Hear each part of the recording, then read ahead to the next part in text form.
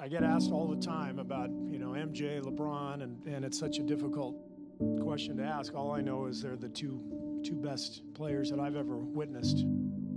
They're very different.